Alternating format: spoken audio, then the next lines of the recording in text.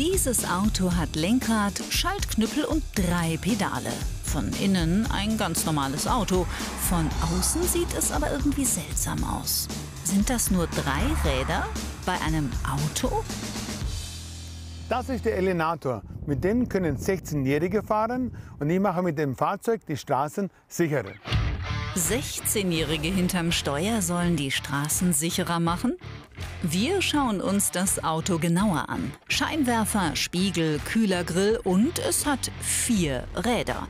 Auch wenn die beiden hinteren sehr nah zusammenliegen. Warum? Dazu später.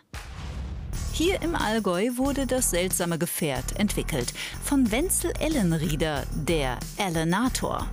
Der 59-jährige Kfz-Mechaniker ist ein leidenschaftlicher Tüftler.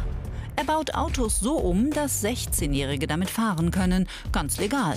Einzige Bedingung ein A1-Führerschein, wie für zwei Räder mit 125 Kubik Hubraum. Der Traum vieler Jugendlicher, endlich eigenständig unterwegs. Mein Bruder, der ist damals mit 17 Jahren ums Leben gekommen mit einem Zweiradfahrzeug, also mit einem Moped.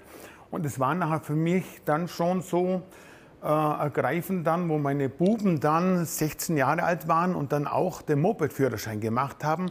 Dann ist mir das eigentlich im Kopf umgangen, warum gibt es nicht ein sicheres Fahrzeug für 16-Jährige? Also hat er es eben selbst erfunden. Herausgekommen ist der Elenator mit mehr Sicherheit als ein Moped. Sieben Airbags, eine stabile Karosserie, ABS, ESP und ausreichend Knautschzone. Gegenüber dem Motorrad, was habe ich da an Knautschzone, was habe ich da an Sicherheitsvorkehrungen? Eigentlich so viel wie gar nichts. Ich meine, wenn ich jetzt ein Zweirad hernehme und den Elenator hernehme, da ist vom Sicherheitsfaktor sind ja der Weltenunterschied. Die Sicherheit steht bei Wenzel im Vordergrund. Doch solche Umbauten sind im deutschen Gesetzesdschungel nicht vorgesehen. Dort gelten strikte Regeln. Weil ich sowas noch nie gemacht habe, war das für mich nicht so einfach, in diese Angelegenheit so rein zum Lesen, weil ich bin eher der Schauber, der Mechaniker und nicht der Bürokrat, wo sozusagen die Gesetzestexte so gerne durchliest, wie das funktioniert. Also heißt es Paragraphen wälzen. Das Problem wird schnell klar. 16-Jährige dürfen mit der Führerscheinklasse A1 nur Motorroller, kleine Motorräder oder vierrädrige Leichtbaufahrzeuge fahren. Für den Mechaniker zu unsicher. Aber eine Änderung im Gesetz bringt ihn auf die richtige Spur. Für mich war das Erste wichtig, und zwar, dass das Führerscheinrecht sich so geändert hat, dass ein 16-Jähriger mit dem A1-Führerschein ein dreirädriges Kraftfahrzeug fahren darf. Seit 2013 erlaubt der A1-Führerschein neben zwei Rädern und leichten Vierrädern auch drei Räder. Der Vater von zwei Söhnen entwickelt einen Prototypen. Das Ziel, ein sicheres Gefährt für seine Kinder. Aber mit nur einem Reifen hinten ist das Auto zu instabil, der TÜV grätscht dazwischen. Also alles auf Anfang und zurück in den Gesetzesdschungel. Und tatsächlich findet er eine zweite Richtlinie, die ihn seiner Vision näher bringt. Wenn die Räder unter 46,5 cm Reifenmitte auseinander sind, also ähm, drunter sind von dem Maß, dann zählt es als ein Rad und durch das habe ich dann ein dreirädriges Kraftfahrzeug machen können. Zwei Räder, die so nah zusammenliegen, gelten laut Gesetz als ein Rad. Trotz vier Räder geht das Mobil also als Dreirad durch. Zwei Paragraphen, clever zusammengefügt, ergeben den Elenator. Das Problem, bei zwei eng zusammenliegenden Rädern muss eine komplett neue Achse her. Hier sieht man optimal jetzt den Abstand von der alten Achse zur neuen Achse. Wenzel baut die Achse so um, dass die Reifen einen Abstand von 35 cm haben. Das ist selbst in Kurven noch stabil genug. Vor ihm kam noch keiner auf diese Idee. Eines Abends gehe in die Werkstatt raus, hol mir halbe Bier, leune an die Werkbank hin. Auf einmal gehen mir die Sachen wieder im Kopf durch. Gehe unter dem VW-Polo durch. Hey, der Blitz, naja, Warum mache ich nicht einfach aus einem normalen PKW ein Dreirad? Am Anfang haben mich viele belächelt und dann zum Schluss haben sie mir wirklich gratuliert. Um aus dem herkömmlichen Auto ein Dreirad zu machen, muss erstmal die alte Achse weg. Dann setzt der Mechaniker den Kofferraumboden hoch, denn die beiden Reifen sind direkt darunter und brauchen den Platz. Ein eigentlich kleiner Umbau dafür, dass es jetzt offiziell kein Auto mehr ist.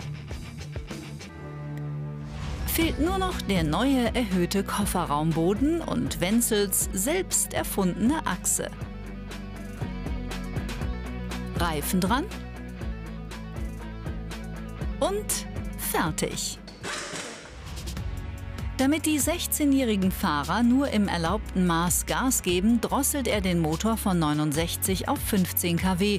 Das sind knapp 20 PS. Mehr ist nicht erlaubt. Damit kommt der Elenator immerhin auf 90 Stundenkilometer.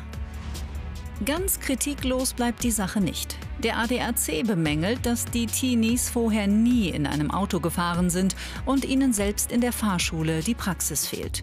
Was sagt der Tüftler zu der Kritik? Die ganzen Verkehrsregeln kennen Sie alles. Was Sie Probleme haben, das ist klar, das ist von der Ausmaße von der Fahrzeug, dann auch von Kuppel, Bremsen, Schalten. Aber da haben wir bis jetzt noch keine Probleme gehabt. Das lernen die eigentlich verhältnismäßig so schnell.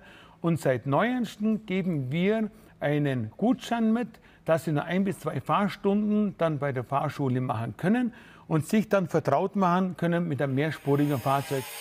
Vom Fahrverhalten möchten wir uns selbst überzeugen.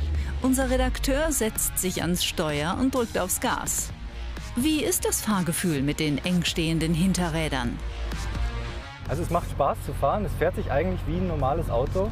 Bisschen weniger Power halt, aber ansonsten merkt man es nicht. Ich wüsste jetzt nicht, dass ich hinten eigentlich nur ein Rad habe, also eigentlich sind es zwei, aber es gilt ja nur als ein Rad. Als Fahranfänger fühlt man sich bestimmt sicherer als auf einem Motorrad oder auf einem Moped. Bei einer Maximalgeschwindigkeit von 90 liegt das Dreirad noch immer gut auf der Straße. 60.000 Euro und mehr als 1.000 Stunden Arbeit stecken in Wenzels Idee. Er meldet das Autodreirad im November 2014 zum Patent an.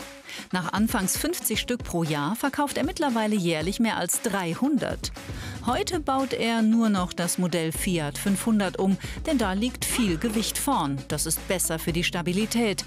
Der Umbau kostet knapp 5600 Euro. Gute Idee hat jeder mal. Aber das wieder an den Mann zu bringen und sagen, hey Jungs, ihr habt das, das ist ein bisschen schwieriger. Mit dem Elenator ist ihm das gelungen. Wenzel Ellenrieder hat es geschafft, die strikten deutschen Gesetze so auszulegen, dass auch 16-Jährige hinters Steuer eines herkömmlichen und vor allem sicheren Autos dürfen. Einfach genial.